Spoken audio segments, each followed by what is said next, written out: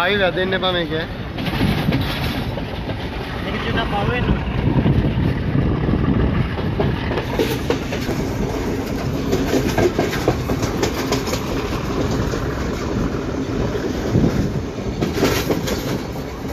Thank you.